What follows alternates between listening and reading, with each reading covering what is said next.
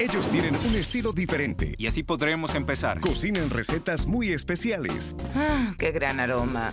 Pero ambos celebran la Navidad con platos increíbles. La Navidad comenzó oficialmente. Conoce sus secretos para estas fiestas. Suena muy bien. Y celebra la Navidad con sabor.